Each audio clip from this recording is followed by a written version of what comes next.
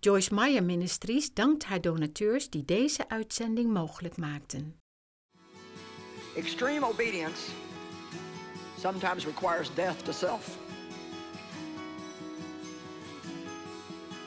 And I don't want to give it up. And God's saying, no, you need to walk away from this. You need to, I would have got what I wanted. I would have been miserable. Now I'm happy. And God was right after all.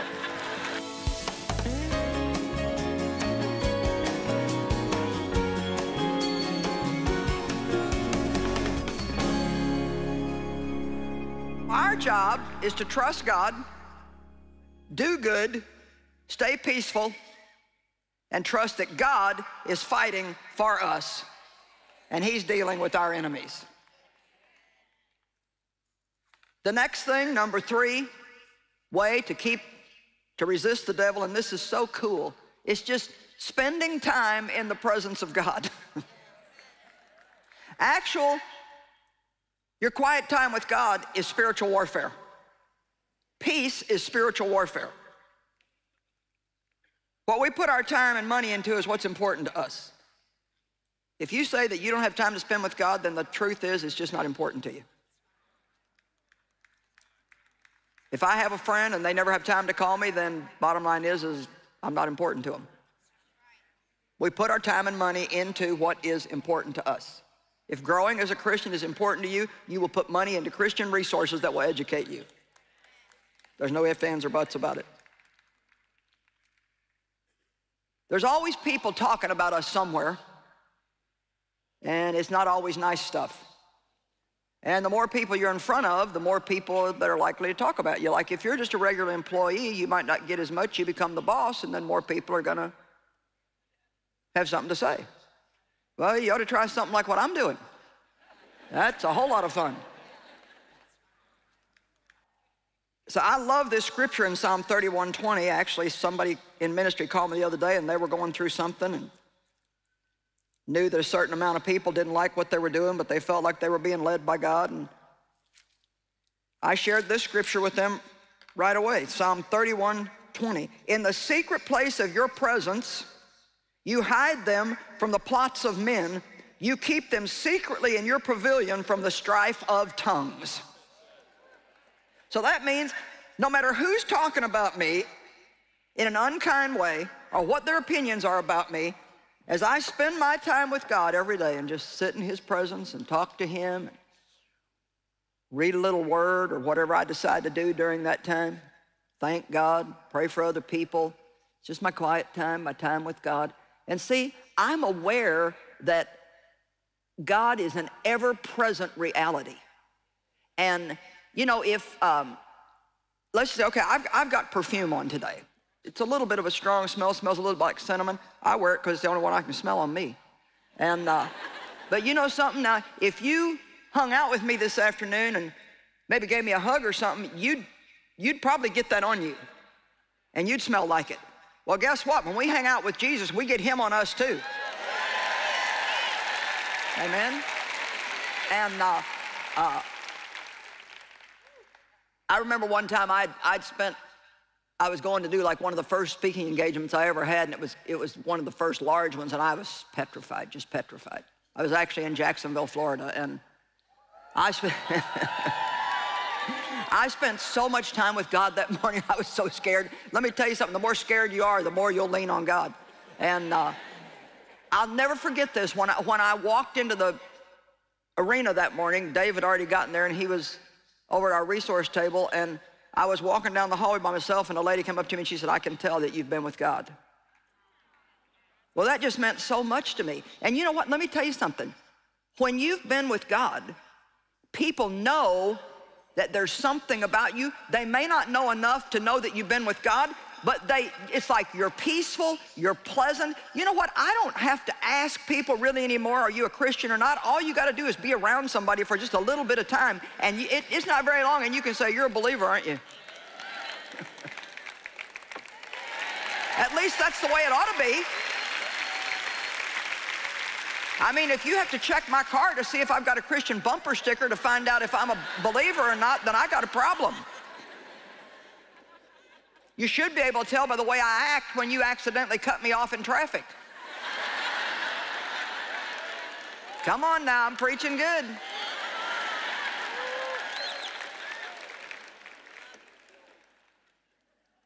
Man, I wouldn't go out of my house without spending time with God. I'd be petrified to do that.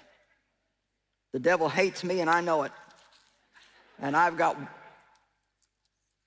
defense against him, but one of the best ones is just to be smeared all over with God. Just get that, that bottle. Matter of fact, I layered it up this morning. I put the lotion in, then I put the perfume on because they told me. So I, you know, I'm, we just need to layer ourselves in Father, Son, and Holy Ghost every morning. Amen.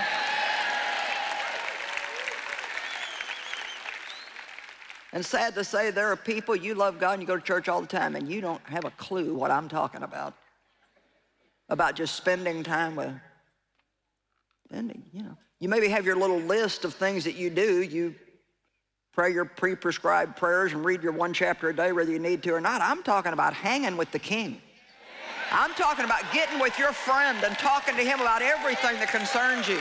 I'm talking about being real. All right, now, number four,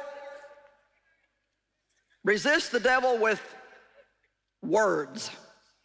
Know the word of God. Words are powerful. Proverbs 18, 21, the power of life and death is in the tongue. God teaches me a lot about words. I have spent a lot of time studying words.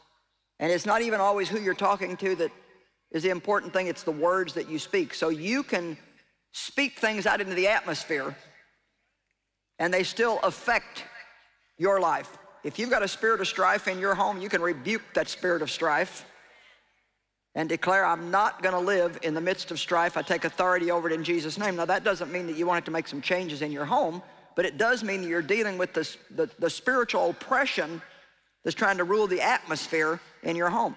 During worship this morning, I honestly, and I'm just trying to be spooky, I mean, I felt a real freedom. I just, I felt a real freedom in here this morning. And I believe that praise and worship breaks through the darkness and ushers that in. You know, the people that we have for praise and worship are very important to me. I'm in all the praise and worship from the moment it starts because it is important to me. It helps prepare me. It helps prepare you. We don't bring somebody who can just sing a nice song. I want somebody that can get into worship, that can get the people's minds off of themselves and onto God.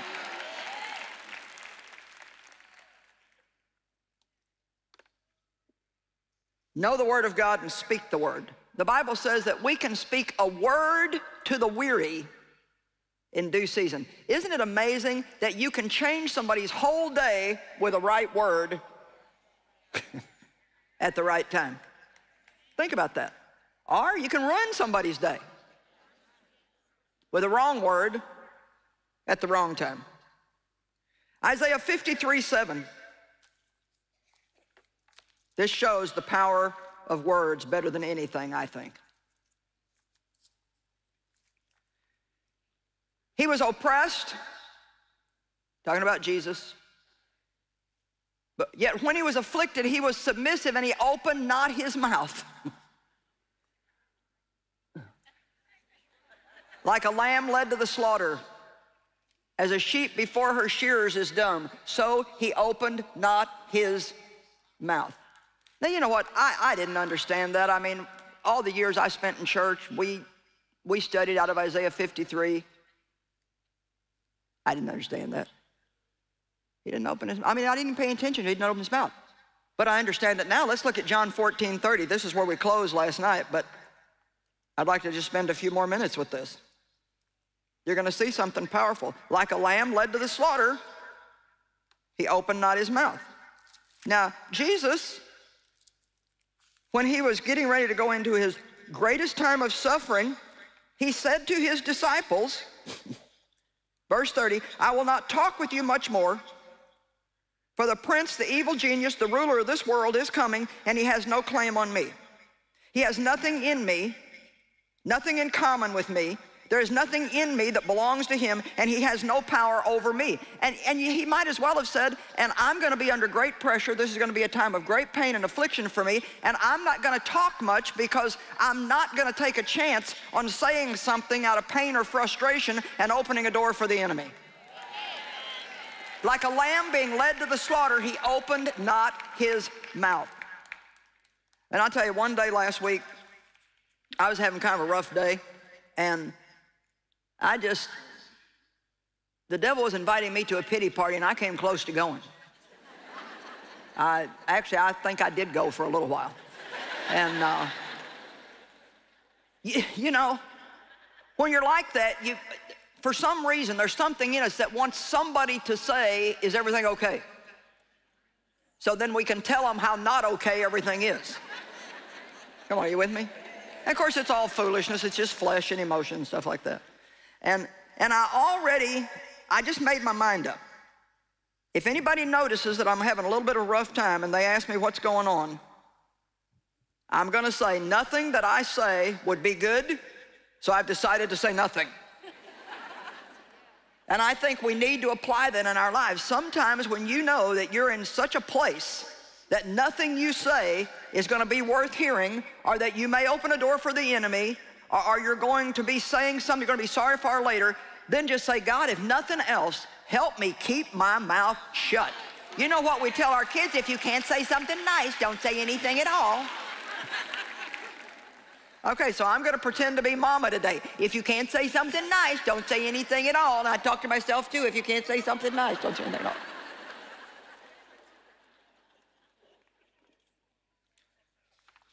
Like a sheep led to the slaughter, he opened not his mouth. Now let's talk about the other side of it. There's a time to keep your mouth shut, but there's a time to prophesy. Ezekiel 37, one of the best groups of scripture that talks about the power of prophesying the word of God, and that just means to speak it out.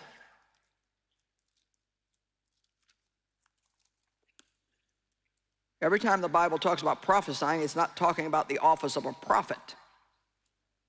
I'm prophesying the word today. I'm declaring it and speaking it out boldly under God's anointing. And it's, it's piercing darkness and making a difference in people's lives. Okay, now this is 10 verses, but I want you to keep up with me. The hand of the Lord was upon me, and he brought me out in the midst of the Lord and set me down in the midst of the valley, and it was full of bones. and he caused me to pass round about and among the bones, and there were very many bones in the valley, and behold, they were very dry. Now, do you ever feel like that everywhere you look, all you see is dead, dry bones? Come on, a mountain of debt, a pile of diapers, a sink full of dirty dishes, a car that don't run, a garage that hasn't been cleaned out in a hundred years, a husband that hasn't shaved in two weeks, you know. Our wife that hasn't combed her hair in a month, you know. And he said to me, Son of man, can these bones live? When we come into a relationship with Christ, we've all got a valley full of dead bones. And it's almost like we look at it and say, God, can you really do anything with this mess? And I answered, Oh Lord God, you know. In other words, if it can be fixed, you're the only one that's got the answer. And so he said to me, prophesy to these bones. and say to them, Oh, you dry bones, hear the word of the Lord. Wow. You can prophesy over your past and say, I am forgetting what lies behind and I am pressing on to the good things that are ahead. You can prophesy the Word of God over your past, over your future, over your mind, over your emotions, over your children, over your marriage, over everything in your life. Come on, we know how to open our mouth and say stuff. We've just spent a lifetime saying stupid stuff. And now it's time to start spending time every day confessing the Word of God out loud. Your mouth is dangerous to the kingdom of darkness when you get the Word of God coming out of it. In Revelation, Jesus is depicted coming in on a charging white horse with a sword going out of his mouth. The Word of God is sharp and quick and powerful like a two-edged sword. Hebrews chapter 4, verse 12. This is our greatest weapon against the enemy. The weapons of our warfare are not carnal, but they're mighty through God. You can't see a word, but you can feel the effect of a word. Words have creative power. Destructive or creative power. It's up to us what we put in them. A word is a container. You can fill it with whatever you want to. Verse 5, Thus says the Lord God to these bones. God talked to bones. Behold, I will cause breath and spirit to enter you, and you shall live. And I will lay sinew upon you, and I will bring flesh upon you, and I will cover you with skin, and I will put breath and spirit in you. And you dry bones, you shall live. And you shall know, understand, and realize that I am the Lord, the sovereign ruler, who calls forth loyalty and obedient service. I don't know about you, but I, this excites me. So I prophesied as I was commanded. And as I prophesied, there was a thundering noise, and behold, a shaking and a trembling and a rattling and bone came together with its bone. And sometimes when you start prophesying the word of God over your life, first you get a rattling and a shaking and a trembling. Come on. Sometimes things got to come apart really completely before they can ever be put back together. Sometimes we got a problem we can put up with, but not one bad enough to make us stop everything and do something about it. Whoa. Come on. Verse 8, and I looked, and behold, there were sinews upon the bones, and flesh came upon them, and skin covered them over, but there was no breath or spirit in them.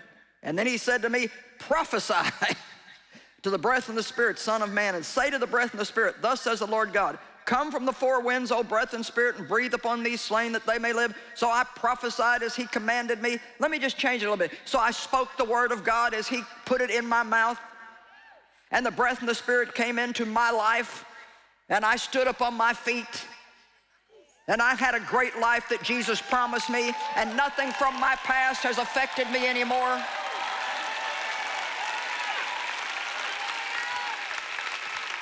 I was a battered, a beaten, and a sexually abused child, abandoned by my mother. Now I am a preacher of the Word of God, preaching the Word of God around the globe in 75 languages. Come on, don't tell me it don't work. It's too late for me. Nobody can tell me the word don't work. This is all I've had and I've used it and I'm telling you the word has power in it but you got to speak it. That's why I love my Bible. I love the Word of God. Number five, James 4 7 says, Submit yourself to God, resist the devil, and he will flee. The easiest way in the world to resist the devil is just do what God tells you to. Isn't that simple? Okay, well, let's see. How can I preach on that? do it. Whatever he says to you, do it. Psalm 91 11. For he will give his angels a special charge over you to accompany and defend and preserve you in all your ways of obedience and service. it, does, it doesn't say that I can just walk in known disobedience and get the help and the protection from God that I would if I was obeying him. And I'm not talking about, you know, we all have things in our life that we don't do right. I'm not talking about making mistakes. I'm not talking about getting upset, getting in the flesh, repenting, getting up and going on with God. I make mistakes every single day. I'm talking about known, purposeful disobedience. And there's, well, that's another message, but there's just way, way, way, way, way too much compromise in the body of Christ today. Way too much. I mean, things going on that are just like, you've got to be kidding. Now, extreme obedience sometimes requires death to self. What that means is if I'm really going to obey God, then I don't always get what I think I want. But if I do obey God, I'll find out later that what I thought I wanted wasn't really what I wanted after all. Did you keep up with that or do I need to do it again? Amen. See, I think I want something and I don't want to give it up. And God's saying, no, you need to walk away from this. You need to get away from that. That's poisoning your life. You can't grow in me if you do that. And it's hard for me to give it up. I have to die to self to give it up. I cry when I give it up. I feel like God's mean when I give it up. Then later I found out that what I thought I wanted wasn't really what I wanted after all. And if I would have got what I wanted, I would have been miserable. And now I'm happy and God was right after all. Amen? Wow. So many great scriptures about just obeying God. I love Romans 5:19. Through one man's disobedience, we all became sinners. Talking about Adam. And through one man's obedience, Jesus Christ, the many were made righteous. Wow. Look what happened through Adam, and look what happened through Jesus. Two different choices. One said no to God, one said yes to God. One said yes to the devil, the other said no to the devil. the devil is alive and well on the planet. He hates God. He hates anything good. He hates us. But he's a defeated foe. He's already been defeated. We just need to know it.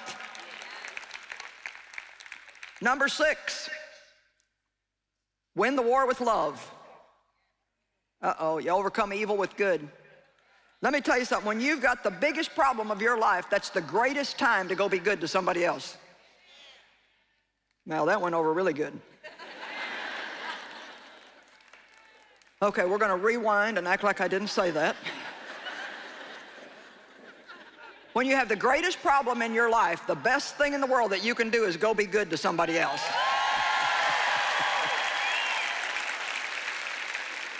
All right, Matthew 24. This is a serious chapter. This is actually about end times, and boy, it lays it out. Be careful, verse 4 says, that no one misleads you, deceiving you and leading you into error. For many will come in and on the strength of my name, appropriating the name which belongs only to me, saying, I'm the Christ, and they'll lead many astray. And you'll hear of wars and rumors of wars. Don't be frightened or troubled, for this must take place, but the end is not yet. For nation will rise against nation, and kingdom against kingdom, and there will be famines and earthquakes in place after place. Well, But it says, but don't be frightened. Let me tell you something. As children of God, we have nothing to be afraid of. We have nothing to be afraid of. We don't have to be afraid of Ebola. We don't have to be afraid of terrorists. We don't have to be afraid of uh, financial, economic collapse. We don't have to be afraid of anything. You know why? Because we know where we're going. And I don't know about you, but I'm ready to go whenever he wants me. I'm going to a better place. Amen. I think we need to hear more about heaven and more about eternity. We need to stop getting our minds so fixed on everything here. And all this is but the beginning and the early pains of the birth pangs of an intolerable anguish. Verse 9, and they will hand you over to suffer affliction and tribulation and put you to death, and you'll be hated by all nations for my name's sake. Now, you know, we haven't experienced much of that here, but this is going on in the world. And here it comes, verse 10, and then many will be offended. So in these times that we're living in today, now what happens? Many will be offended. I've never seen a time when people get angry so quick as they do today. Road rage? Really?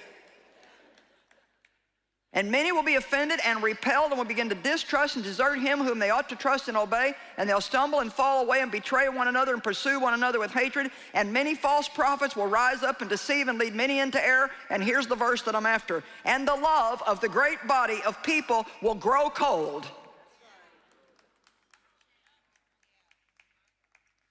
Because of the wickedness and the lawlessness in the land. The great body of people is the church.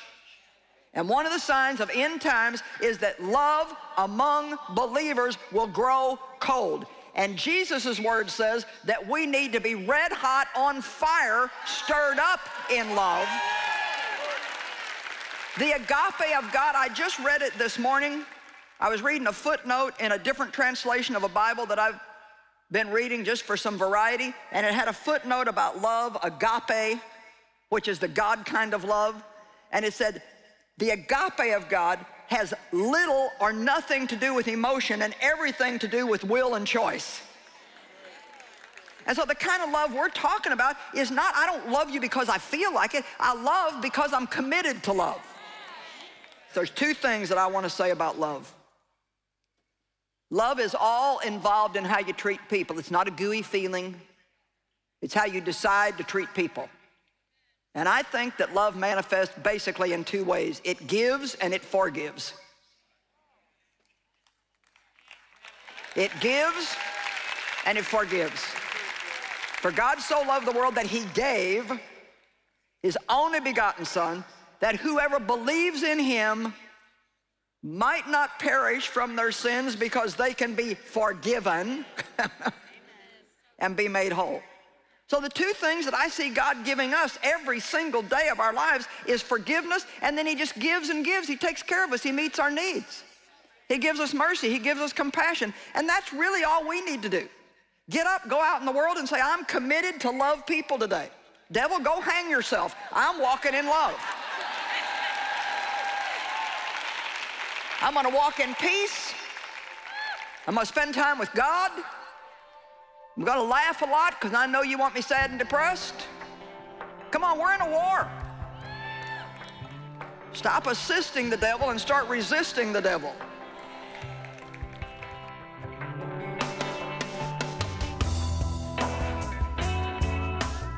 Did you know that one of the most powerful weapons against the devil, and perhaps the most overlooked, is love? That's right, love is spiritual warfare.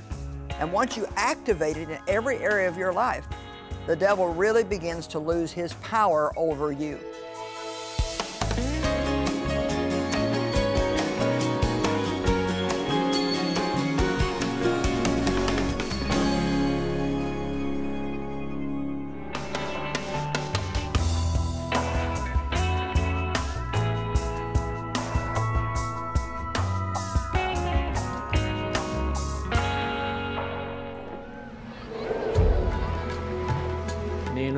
ఈ స్థలానికి మొదటిగా వచ్చినప్పుడు When I first came to this place, this was a deserted uh, place with huge trees, rocks.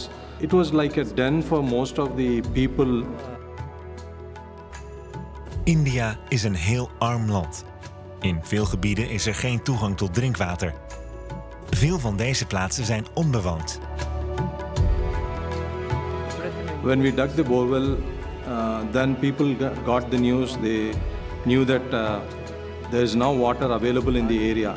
That's how people started coming and started living in this area.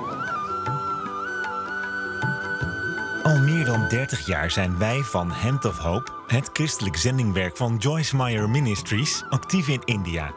Tot op heden hebben we honderden waterbronnen en kerken mogen bouwen. There are many wells in this village, about three or four, but each well is dedicated to one community or one caste or one religion. One other religion is not allowed to go there to fetch the water. But we drilled a well outside the compound of the church. So it is open for 24 hours. People can get water anytime they want. కొంచెం bore వేయకముందు There were about uh, 30 to 40 people attending the Sunday worship service prior to having digging the borewell. We have now around uh, over 500 people attending the Sunday worship service. We plant a seed. We get an opportunity to come align ourselves with the pastor. He gets to build a community of faith, find new leaders, and go plant other churches, which is really the great story. And as our partners uh, and their faithful giving, uh, we can see that, which is really the great story, isn't it?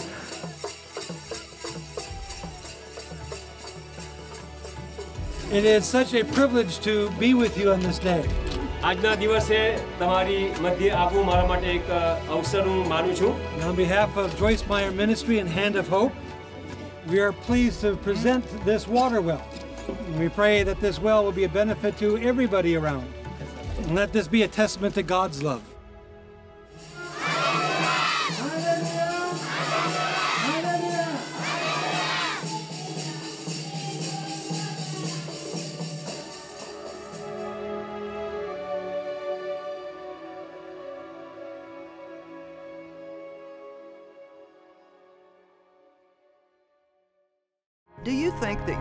Thoughts are random and meaningless? Or do they affect you more than you realize? Well, God's Word teaches us the importance of our thoughts. In Strijd in je denken legt Joyce uit waarom letterlijk alles in ons leven samenhangt met ons denken. Actually, everything in life begins with a thought, even the changes that you might be looking for. Deze bestseller, met een oplage van ruim 6 miljoen exemplaren, heeft het leven van veel mensen al veranderd. Bestel Strijd in je denken door te bellen met 026 20 22 100 of online via joyce-meyer.nl/slash strijd. Een dag begint pas goed met een goed ontbijt. En een dagelijkse overdenking van Joyce. Nieuwe impulsen en bemoedigende gedachten die je zullen sterken tijdens je dag. Abonneer je gratis op de overdenkingen op joyce-meyer.nl slash overdenking of op Facebook. Begin je dag goed. Het is het waard.